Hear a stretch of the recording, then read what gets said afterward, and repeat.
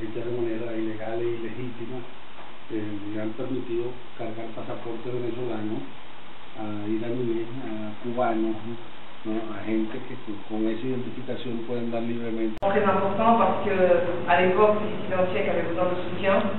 Et euh, un an plus tard, euh, le de bouleversement, et Jacques Lavabelle par la suite devient président de la République. Donc pour fêter les 20 ans de, de cet euh, événement, petit déjeuner euh, historique 1998-2008, euh, nous avons proposé que euh, les dissidents d'hier et les dissidents d'aujourd'hui euh, seront Hay una marca aquí roja, ¿sabes qué es?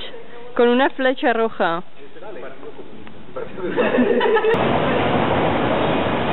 ¿Y otros para allá?